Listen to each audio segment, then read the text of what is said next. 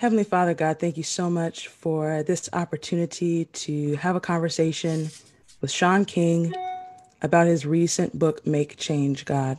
Uh, be in the midst of our talk and lead and guide us into truth. It's in Jesus' name I pray this. Amen.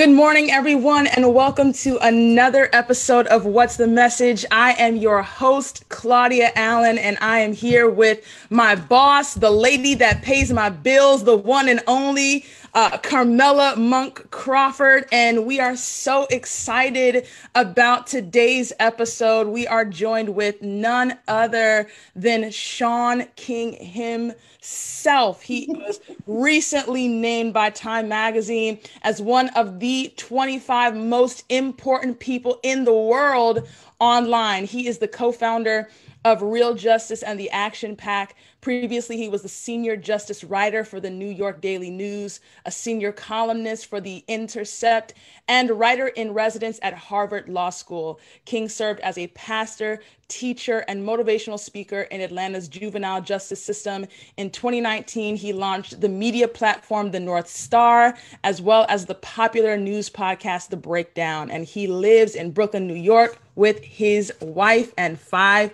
kids. Listen, I am so excited to have you to talk about your most recent book, Make Change. Shameless plug. All um, right, all right. Thank you. Go ahead and get this fantastic read. Um, man, just Carmela, what were your initial thoughts? You know, you listened to the audiobook, I read the hardcover let's let mm-hmm. let's talk about this thing and i have a hundred million questions to ask shaun i love it and i love to see all of your post-it notes there in your book. That that lets me know.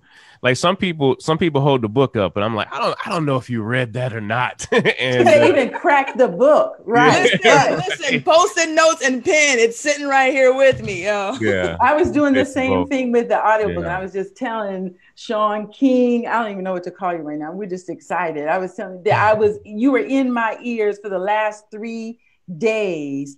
And one thing that um, I know you used to um, work as a pastor, and yeah. the first thing that came to my mind was, you know, that at how the end of the service, everybody's coming out and they're like, Pastor, that was for me. That's oh. how I felt as I oh, read so this, listen to this book. Man, Pastor, that was a word for me.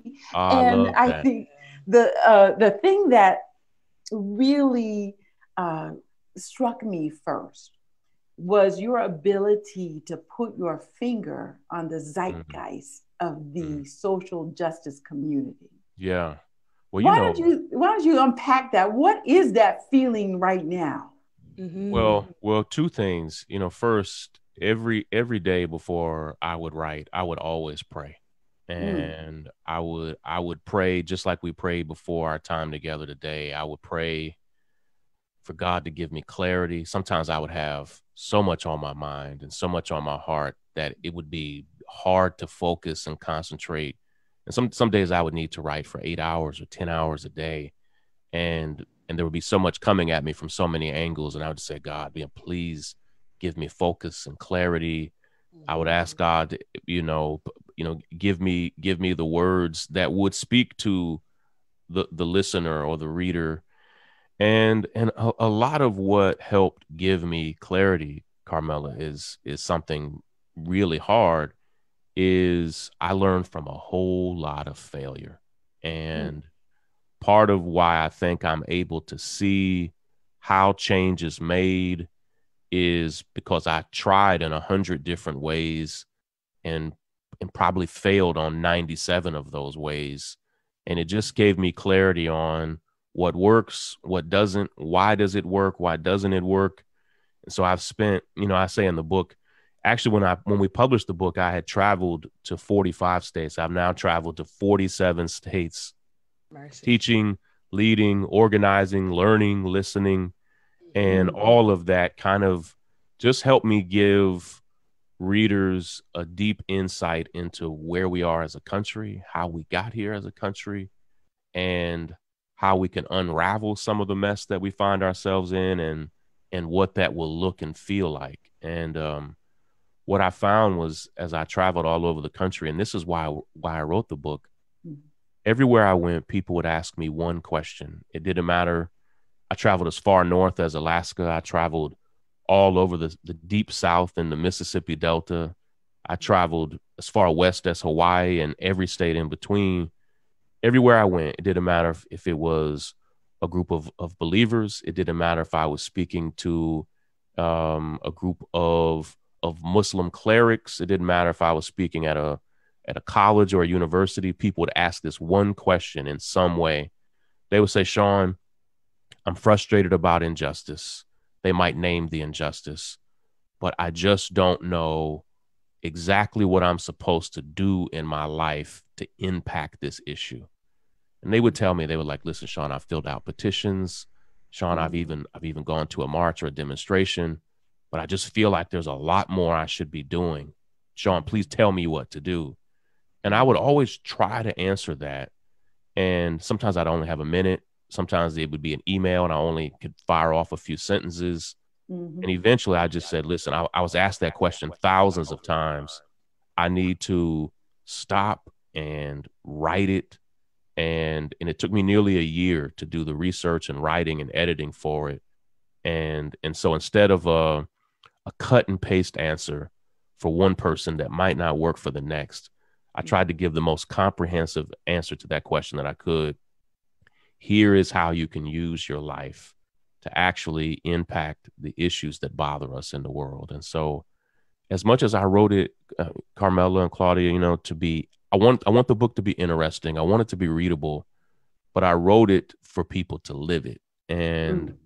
Um, it's not an autobiography. It it is autobiographical in places, but I really wrote it as kind of a manifesto of here's how we can change the world together. And uh, and my hope is that people will take it and use it in their own lives.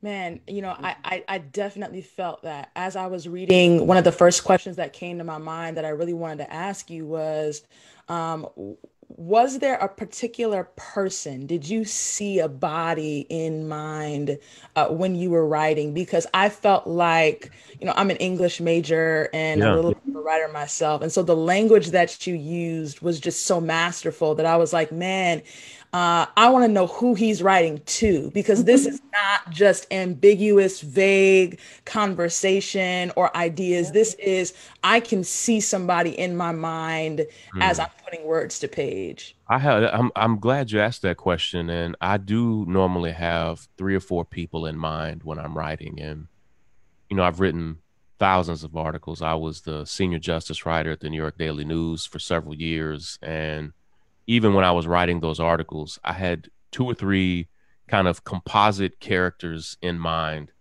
First, uh, I have my mother in mind. My mother reads a lot of what I write. My mother, my mother didn't go to college, doesn't have doesn't have an advanced degree.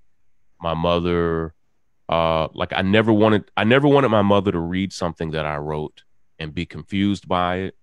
And mm-hmm. so I wanted, I wanted to be able to still unpack complicated issues and ideas for her that she still mm-hmm. understood without having to follow up and say, You said something and I don't quite know what you mean. So I had my mother in mind. When I would travel across the country, I started being really surprised by people who would tell me that elementary school students, middle school students, high school students were listening to my podcast. Sometimes they would listen to my podcast in class. Uh, their teacher would play it for them. Mm. And I realized it's like, ah, there are kids listening mm. who may not have all of the information that we have. And I need to be able to unpack lessons in a way that no matter how old you are, that you understand it. Now, here's the third person that kind of throws a wrench in all of that. So I'm I'm writing this for my mother. I'm writing this knowing that young children are are are reading. But a lot of a lot of professors and policymakers mm. read what I write and listen to the podcast as well. So I have to have something that's as as sophisticated enough and and groundbreaking enough to where a policymaker or an expert or an educator still reads this and feels like, ah, I never thought of that before. I never considered that. And so my struggle is to say something that a young person or senior citizen who may not be trained in all the all the ideas that we have that they get it, but that it still engages an intellectual community in a way that they still get something from it. And so that's a struggle. And so I'm always walking on that tightrope of trying to speak very plainly, but still share complicated lessons that make people have light bulb moments, if you will. Mm-hmm. Wow. No, that's amazing. Yeah. Carmela, right before you ask your question, mm-hmm. guys, uh, this is uh, already off to a really great start. And we see so many of you are already in the comments chiming in. Mm-hmm. Um, make sure to click that share button um, so that more people can get access to this conversation and uh, hear Shaun King talk about what it means to really make change. Carmela? Change. I, you know, early on in the book, you talk about your experience of um, seeing the viral video, what is now obviously a viral video of um, Eric Garner. Yeah. And what's so sad is that there are so many viral videos in mm. which we are watching people die now. Yeah. And so I guess I, I kind of have two different questions. Sure. One, how are we to come and make, what do we make of the trauma mm that we are witness to that seems to seep so deeply into our spirits after yeah. doing this. And what is your thought on sharing these? I mean, you being yeah. who you are, yeah. if it were not for social media, we wouldn't know this. But you know, where where are you on that right now? I have, yeah, I have I have thoughts about both of those questions. You know, I, I tell the story of where I was, I my family and I had moved. We lived in Atlanta for almost 20 years, and we moved to Southern California. And uh, six years ago, in July of 2014, I was I was at my cubicle. I was the director of communications for this national environmental charity, and a buddy of mine who, who I who never never sent me Facebook messages, and I rarely even checked my Facebook messages. Mm. On this morning, I got to the office super early and a guy that I went to Morehouse with sent me this video of Eric Garner being murdered, and it had not gone viral, and we didn't even know his name. We just we we described him as the man in the video, and it was the first time in my life. So much has changed in the past six years. Yeah. It was the first time in my life I had ever seen a man die in real life. I'd seen it in the movies, of course, this was the first viral video of somebody being killed by police, and I was I was I was wrecked by it. I mean, it it it it impacted me so deeply that I I felt like I had just witnessed a lynching, and in effect, that's what happened to Eric Garner. Mm-hmm. They they lynched this man, and it was the last day I ever worked for Global Green. I I, I give them a shout out in the book because they paid me for about another month, but I never, yeah. but I never, and they they needed to let me go, but they also saw that I was because in the following month, Michael Brown was murdered. Mm-hmm. Uh, uh, a man named John Crawford, who was a young father in Ohio, was murdered. Uh, a young brother in Los Angeles named Ezell Ford was murdered. And all of a sudden, we came to understand through social media, through cell phone technology, we came to understand that what we thought was American police killing people every two to three weeks, we came to understand that they were actually killing three to four people a day, every single day and nobody had just tracked with it. And that crisis took over the country. And I have now studied probably about 500 videos of people being killed by police and which is which is awful. I'm not desensitized to them because it's normally family members who send them to me saying shaun this is my father this is my uncle this was my brother this was my son this was my mother my daughter my sister. And i, I shaun i don't know if you can help but i need I, we need your help. And normally families are asking me and carmela this is i have a, a process on whether or not i share any of these videos. First just to be clear i hate the videos. Mm-hmm. less than i hate the videos i hate that the injustice on the videos exists in the first place. It, it's not the video that's the problem as much as it is the injustice. But almost every video i've ever shared and out of the 500 or so that I've studied, I've probably shared 20% of those. Mm-hmm. Families have asked me, Shaun, we we can't get any movement on this case. The the the police won't meet with us, the district attorneys won't meet with us. Please share this video. And and yet I know I know instinctively, Carmela, that when I share it, that it does cause trauma. Mm, and yeah. so I have to balance this real struggle of a family saying, Shaun, we've already shared the video. Just recently, I shared a video of a brother killed in a Pennsylvania jail named Shaheen Mackey.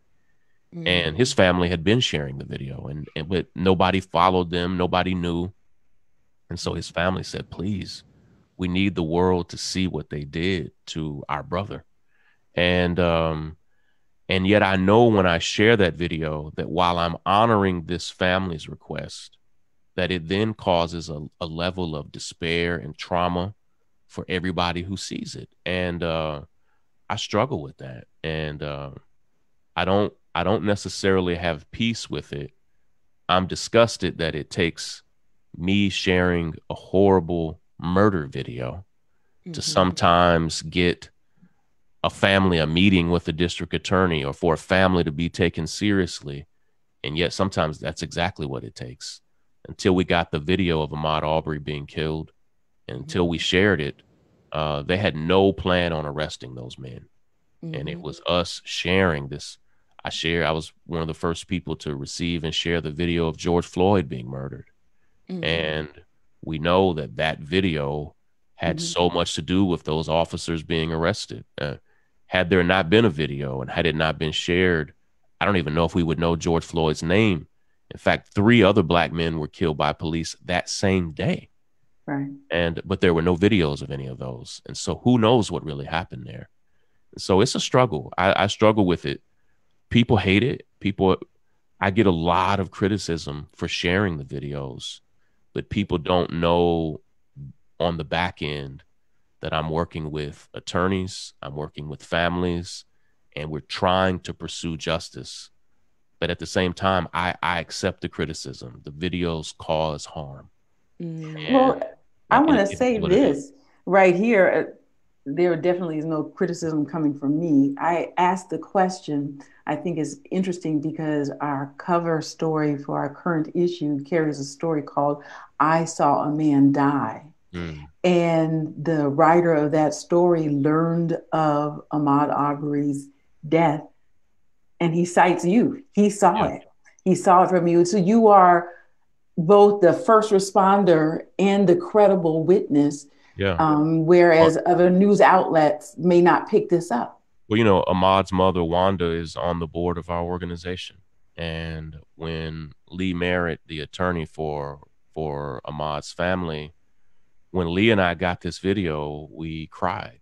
I mean, like we literally cried like babies. And it makes me emotional even thinking about it because we had imagined in our minds what we, and we tried to even retrace the steps and we thought we understood what happened to Ahmaud, but it was even worse than we imagined. Mm. And and we you know we asked each other who it would be best to share it we talked with his mother and uh, his mother was kind of like the mother of Emmett Till, who mm. said, "No, no, share the video of what they did to my son," mm. and um, and um, and so when we shared it, there was a lot of criticism, and and yet our primary responsibility uh, for me and Lee is to Ahmaud's family. Mm-hmm. But it does, it's not, it, it, it does cause harm. It does cause trauma. And we don't, I don't feel good about that. And uh, every every day when I do this work, I have to balance those things out. And and um, Lee and I both are are believers and pr- and pray with one another. And you know, Lee and I see you know, we see the story of Jesus as somebody who was literally publicly executed by the government.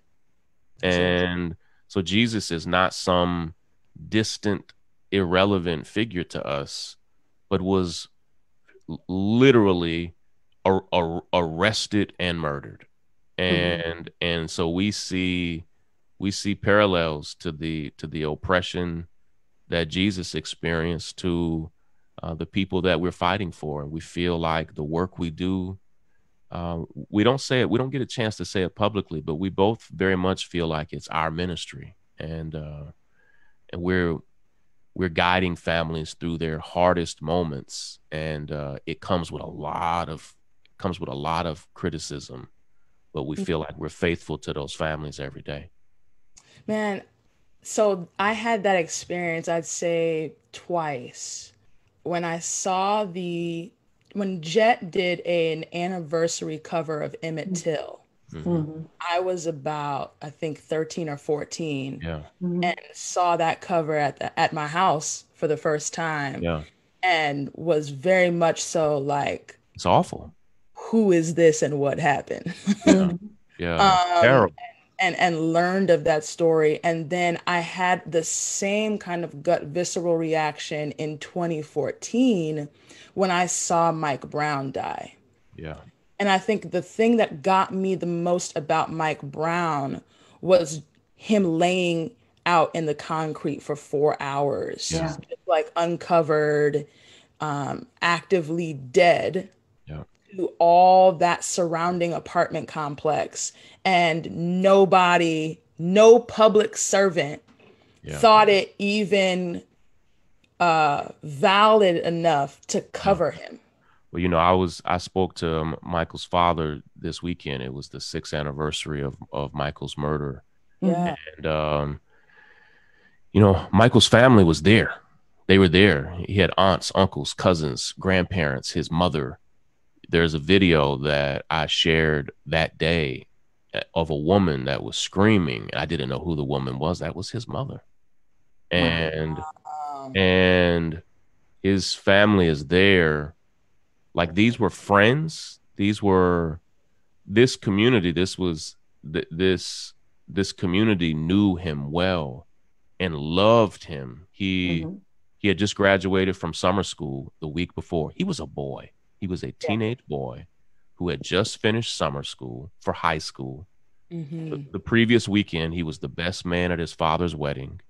Mm-hmm. And he was literally, it was early August, and he was a teenage boy dreaming and thinking about what was next in his life. And that community on Canfield Drive where he was murdered, they knew him and and people were people were not only offended that they left him there like that, they were just crushed because yeah.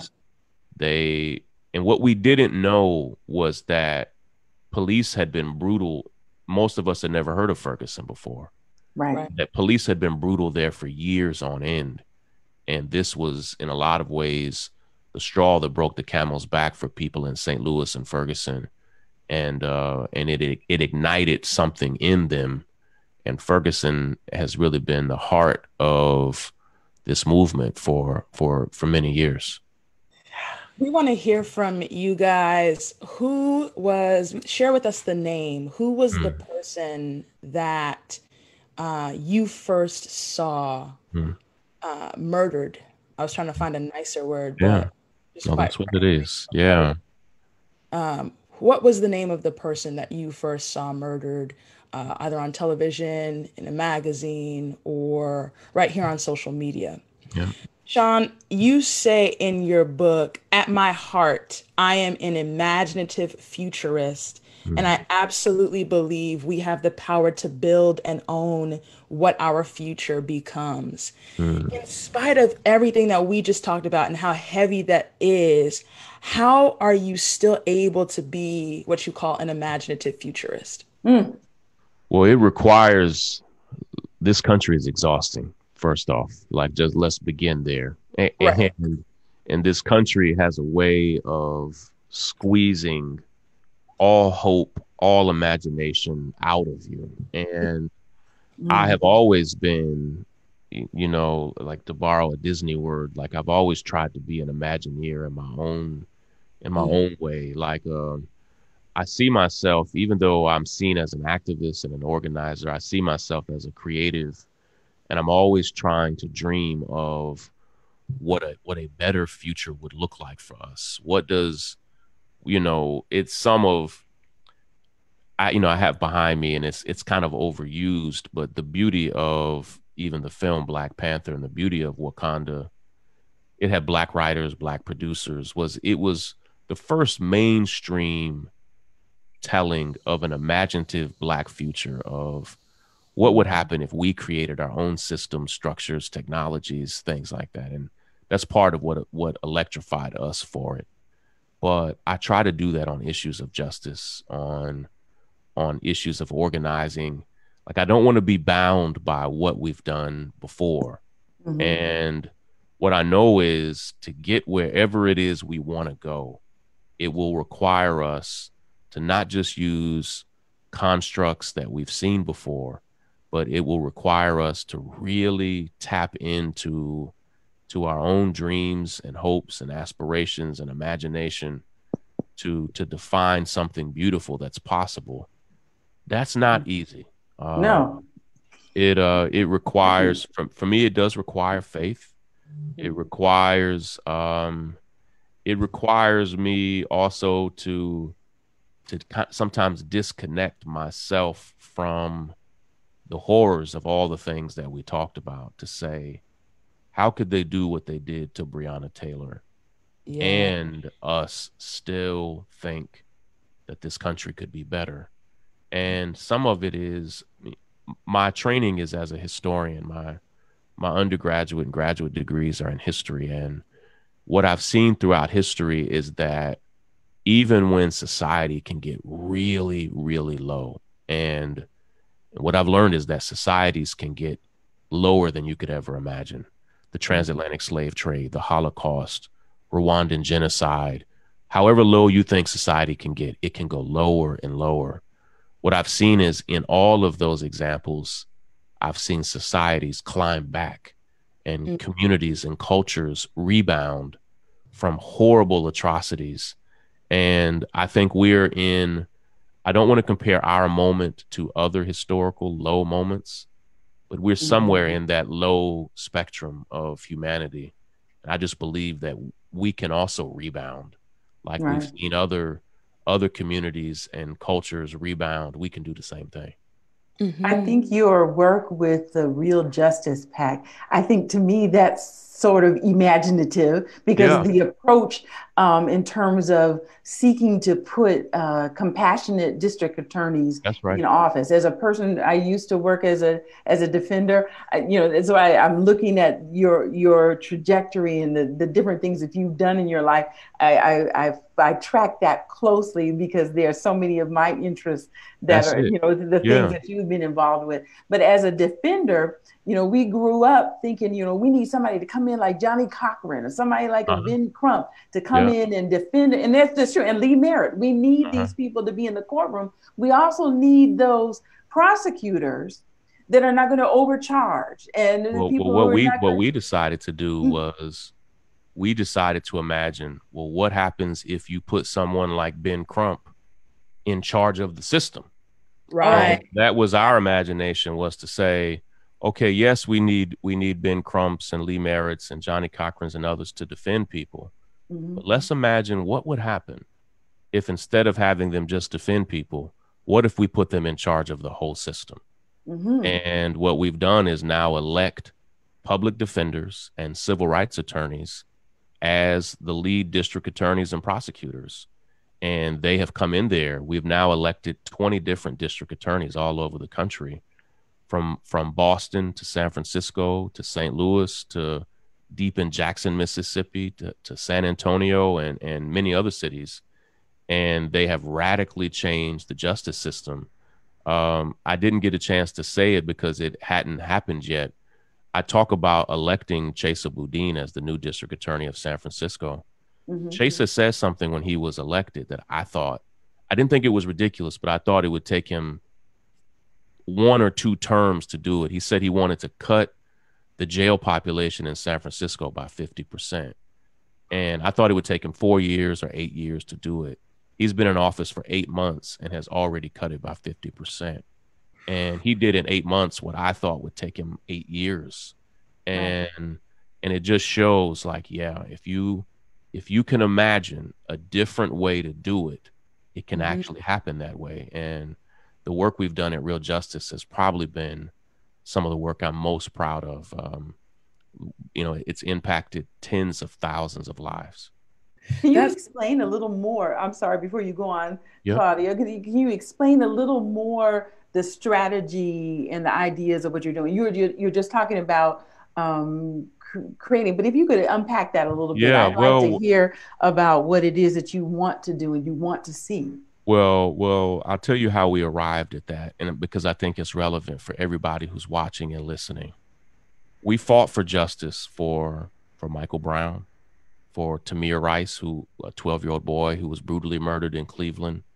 We fought for justice for Eric Garner, for Alton Sterling, for Philando Castile, for Sandra Bland, for Freddie Gray, and not a single one of those families got justice. None of them, zero.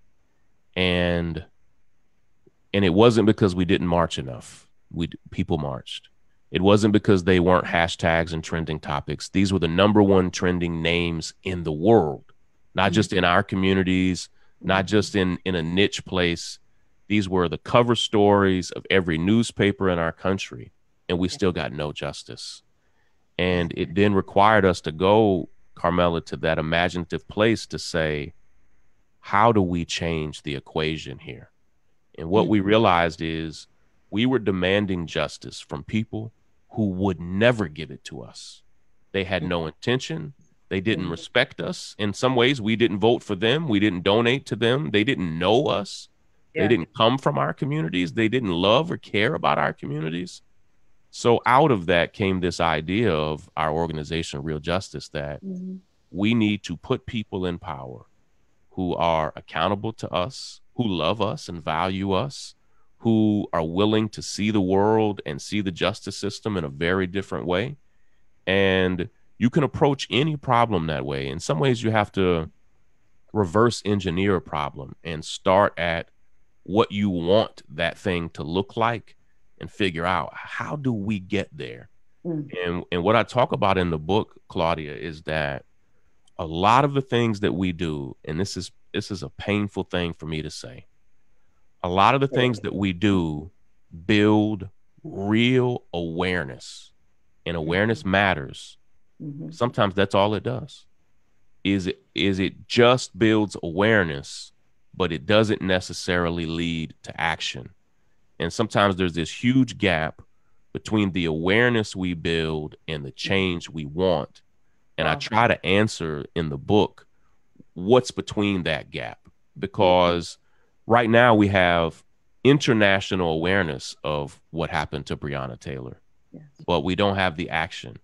And how do we how do we build that gap to have it? And um, and some of the answers that I provide are not necessarily what people would expect. It's changes is change is hard. Systems are hard to change, and uh, mm.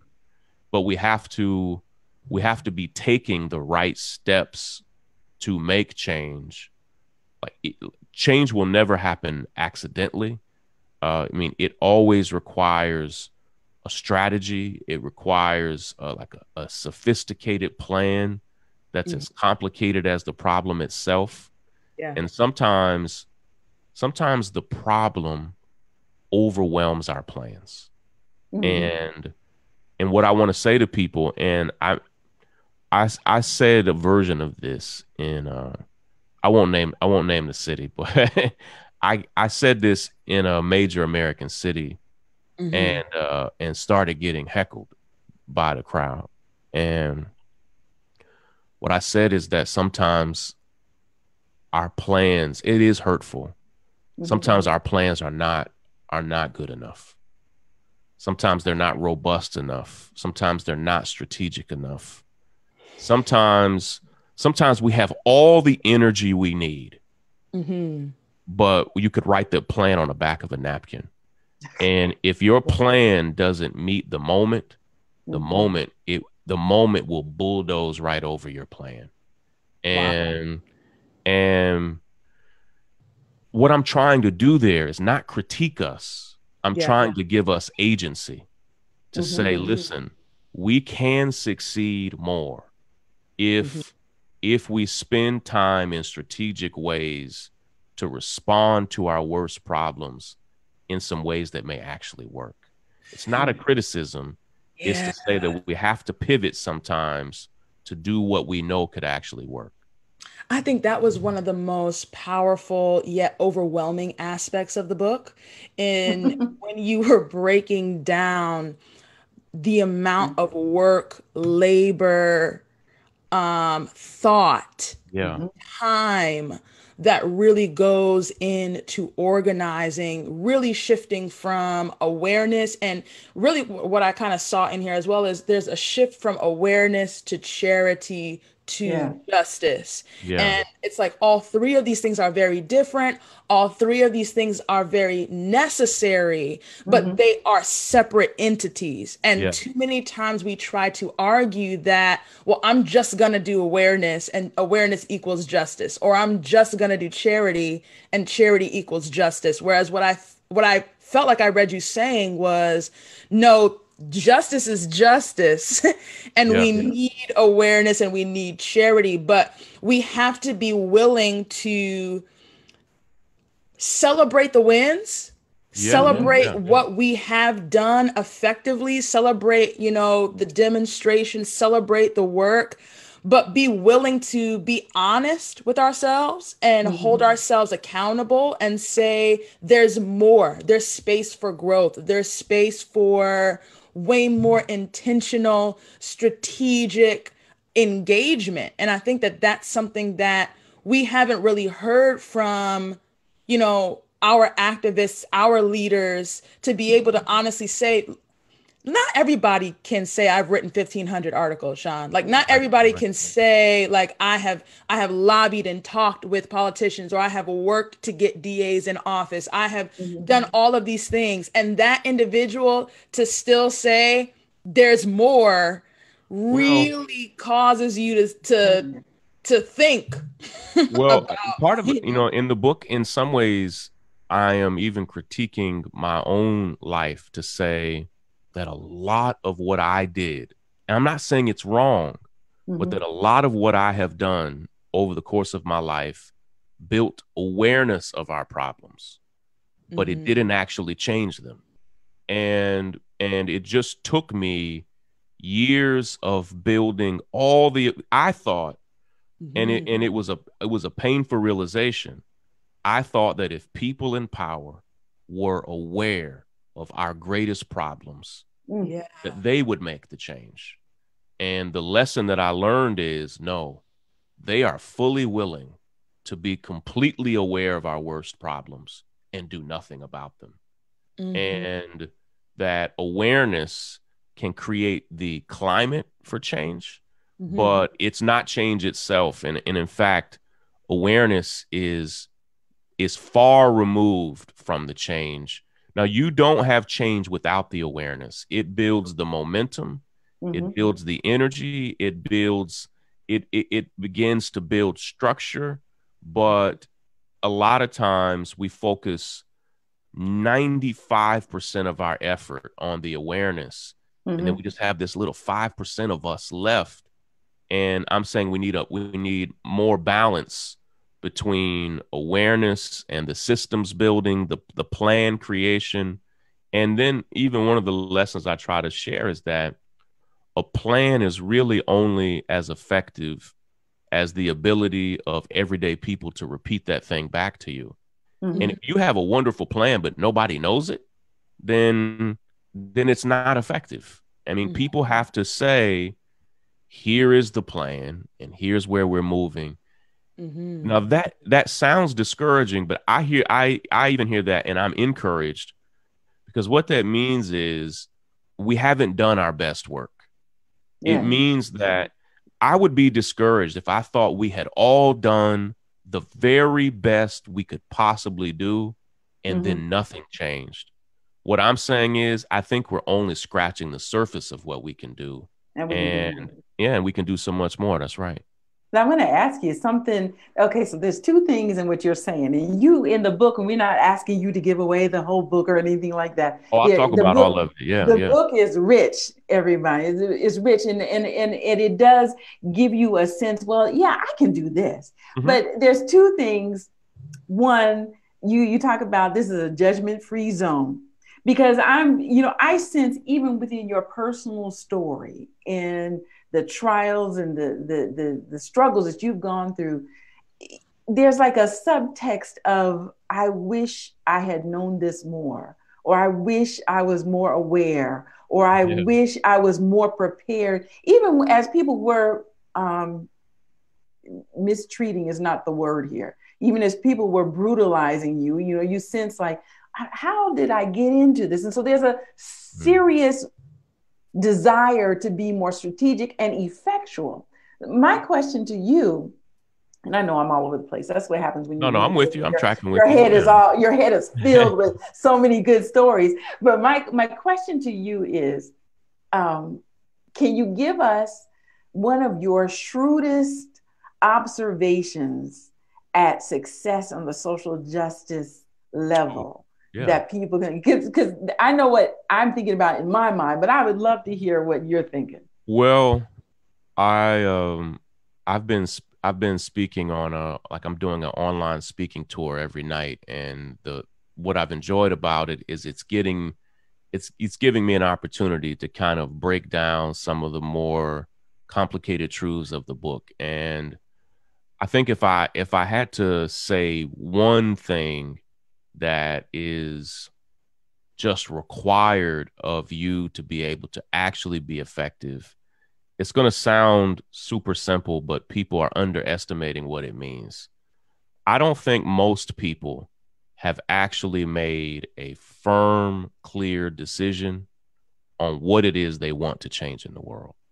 Mm. And I think people are bothered by a lot of stuff. Mm. And I don't I don't mean that facetiously. I think people are heartbroken. I think they're disturbed.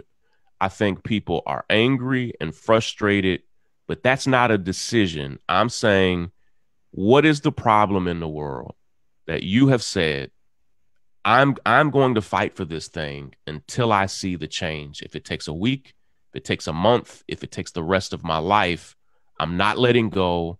I'm going to fight for it until I see a change. And here's and here's where I push back on people. Mm-hmm. People will then sometimes in the comments say, "Well, here's their decision, and here's the decision they've made," and mm-hmm. and that's fine. Mm-hmm. But what I say in the book is the greatest evidence that you have actually made that decision is not you telling me that you've made it. It's if I went to your friends and family and said, uh, "What is Claudia's cause?" Mm. And if and if Claudia's friends and family don't know what it is, then Claudia hasn't actually made that decision because when you've made that decision, everybody around you will know it. You're you you're asked you're trying to recruit them to the cause. You talk about it every single day. Your neighbors will probably know. Your coworkers and colleagues will know. When you've actually decided to dedicate your life to a cause, and Claudia, I'm not saying you haven't made a decision. No, I'm saying when I'm saying when any of us make a decision, the evidence is not you telling me you made it. The mm-hmm. evidence, the proof is everybody around you will know it. And and I try to live that. There's not a person who knows me who, if you ask them, and it's not just because I'm well known, it's because of decisions I make every day. If you ask anybody in my universe, including the two of you, what is it that Shaun fights for regularly? Mm-hmm. You can come up with an answer because I won't let go of it. I won't stop. And and what I have found is there's a lot of frustration, there's a lot of anger, but not enough people making binding decisions like I'm going to fight until I change this thing. And it yeah. requires the problems we're up against require that type of decision. Man, hmm. that's that's so good. There's like so much going through my mind, and I only have like so much time, and I have so many questions. I appreciate but... you. Yeah, I'm sorry. Uh, I'm sorry that we can't stay even longer. I've enjoyed the time. I looked at the time, and it has flown by. Yeah, it is gone. You but, asked a question because I got to ask him. Uh, we did a couple too. Go ahead. I'm sorry. I'm sorry. Yeah, let's do it. Let's do it. I'll try to be shorter and let's try to do some rapid, uh, some rapid fire. Lightning yeah. round. Fire. Listen, one of I got to read another section, man. This is okay. a really good one. Um, you said the systems and structures of oppression and the people who oversee and guide them are fully willing to wait out the organized masses they are content to watch our marches and protests from the windows of their offices or on their screens without ever yielding to a single one of our demands. They will stall us and do everything they can to slow our momentum to a snail's pace in the hope that doing so will mean that we will lose steam and give up, keeping the status quo fully intact. They are banking on mm-hmm. our collective wave of energy simply being a blip on the radar, something that they can steamroll over or count on dying out over time. Yeah, yeah. The writer in me is in love, guys. I need you to get the book, okay? Get yeah. the book. But one of the it's questions painful, that I'm seeing, yeah. painful. One of the questions I'm I, I'm seeing that I could put all into one good question that that's within our comments right now how do you effectively get volunteers engaged in a plan, uh, in an organized idea? Yeah. Um, so that you can effectively make change. It's like they've got the energy, they've got the knowledge, they're with you. How do you really mobilize the people that you have?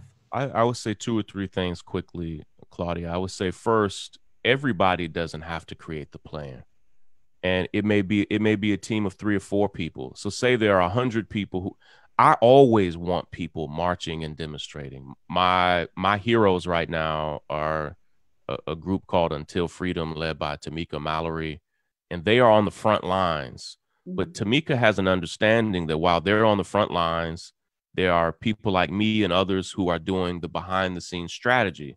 So we have an understanding that while they're on the front there are other people working behind the scenes, and that's important. Everybody doesn't have to write the strategy. Everybody doesn't have to be on the front lines of the protests. So sometimes you need to have a group of people who break away, who are strategists and, and creatives and thinkers, and they have to be able to translate that plan to to the whole group. But everybody doesn't have to create it.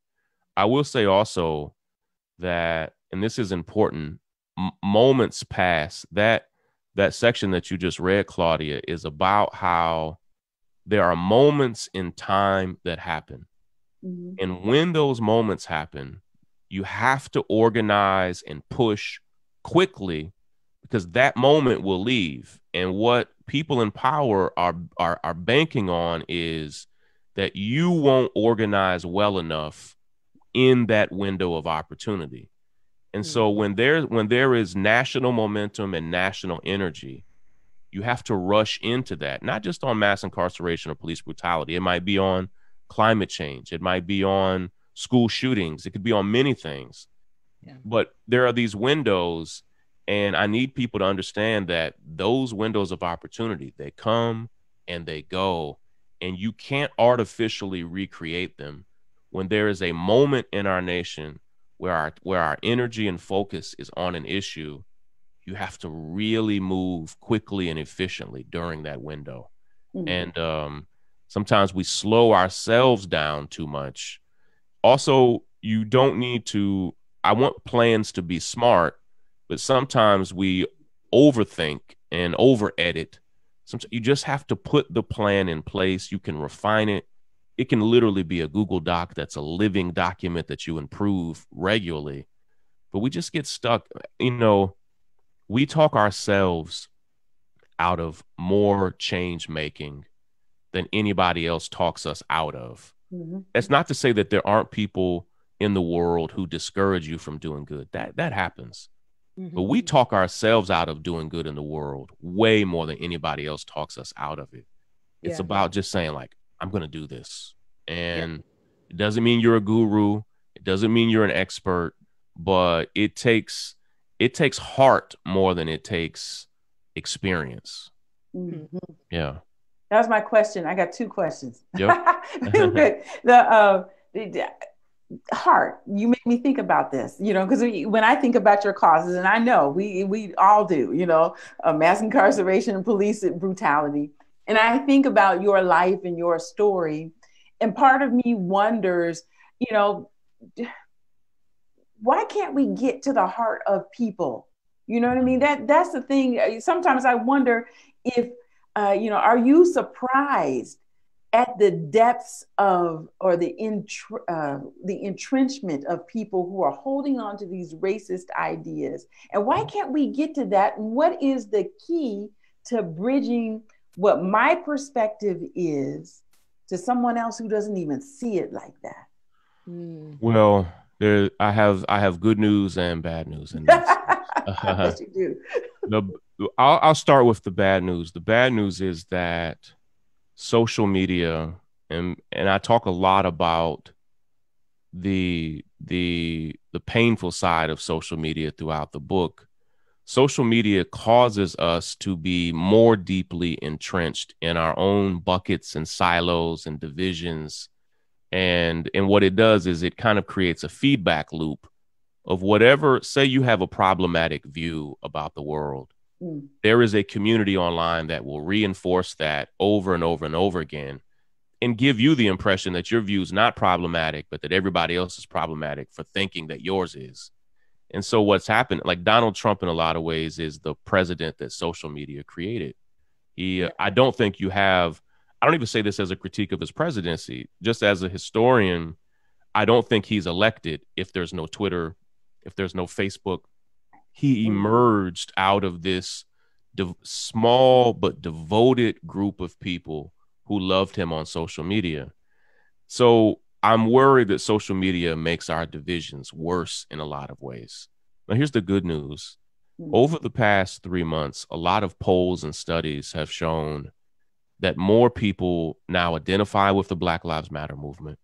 More people believe that systemic racism is real than at any point in measured American history. Now, that's encouraging because what it means is that the awareness is building momentum. It also means that people are reading not just my books, but a dozen other really essential texts. People are becoming more informed.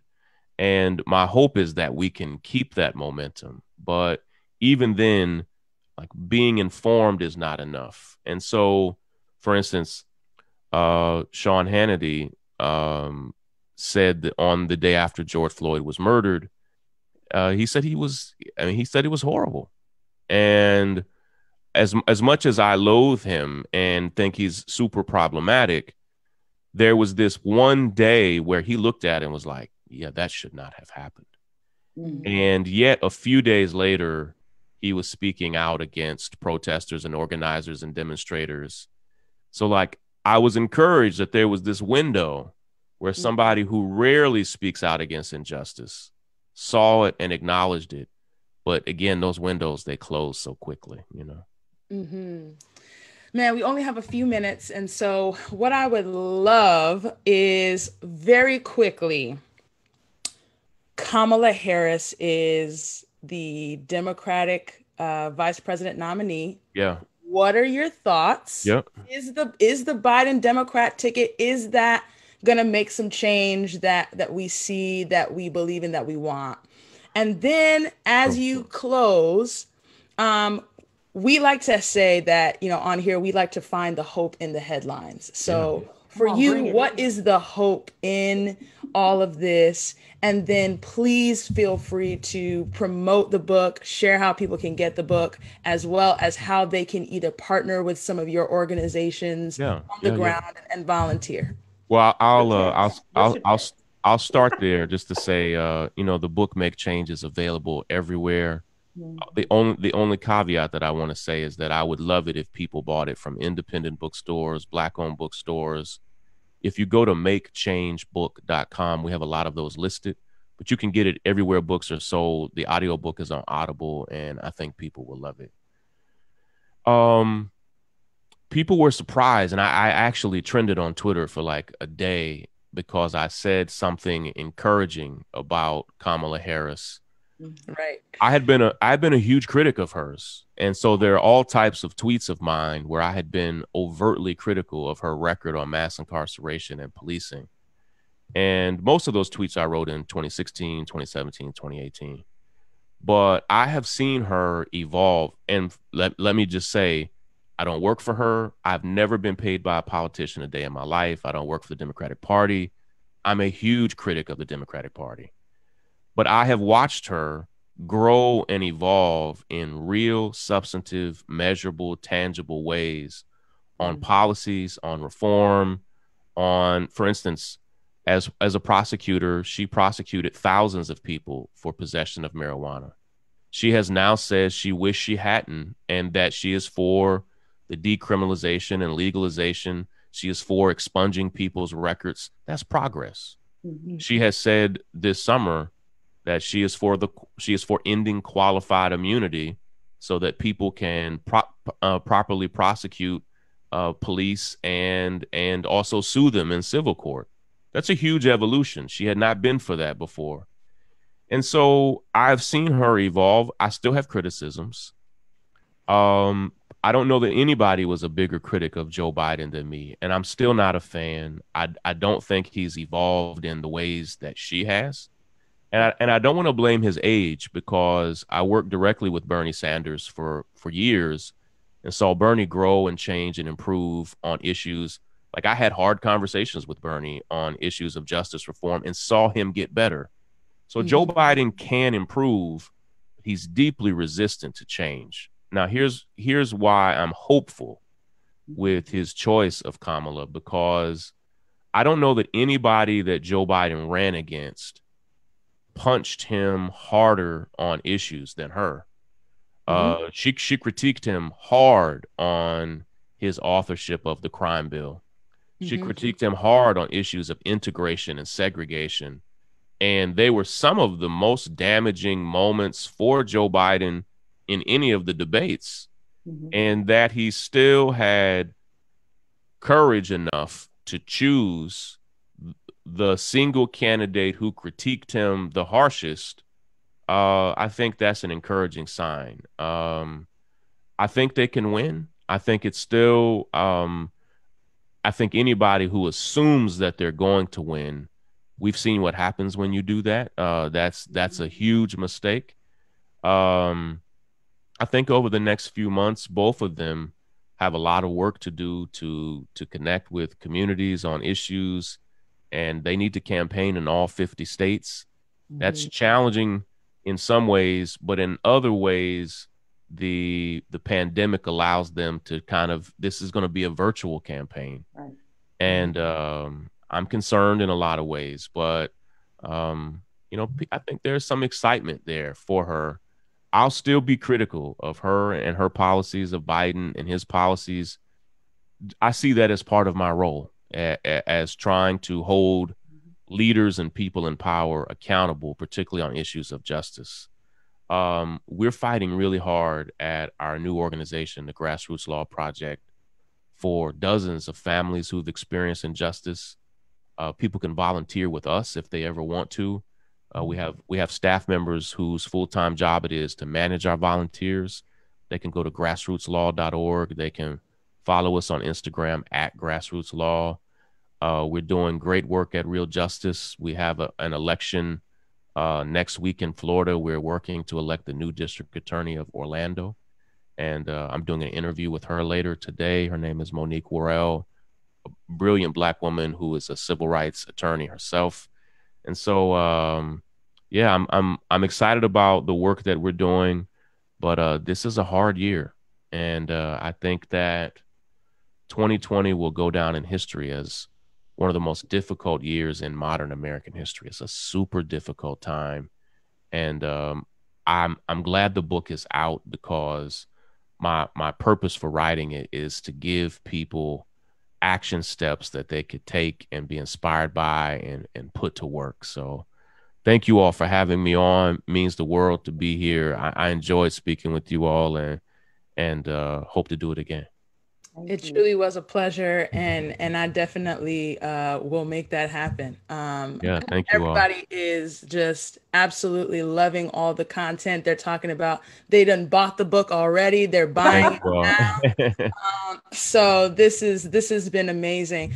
I cannot, uh, you know, say anything other than uh, you know he i feel like kind of capped this conversation beautifully. And so you all mm-hmm. know we do our best here uh, to talk about um, the leading top um, issues questions concerns that are facing blacks and brown black and brown people here in america. And so um, here we try to ask the question what's the message? and find the hope in the headline. And so we can only do that um, with you. And so make sure that you are following us right here on Facebook at Message Magazine. Make sure that you are following us on Instagram and Twitter at Message1898. And you can subscribe to our YouTube channel. You can subscribe to our print magazine, our newsletter at www.messagemagazine.com. As always, it's a pleasure. As I promise, we'll be here every Thursday at 11 a.m. Same place, same time, just a whole new different topic. So uh, have a great rest of your day, and we hope to see you next week. Bye bye. Thank you, Shaun King. Yeah, take care. Bye. Bye.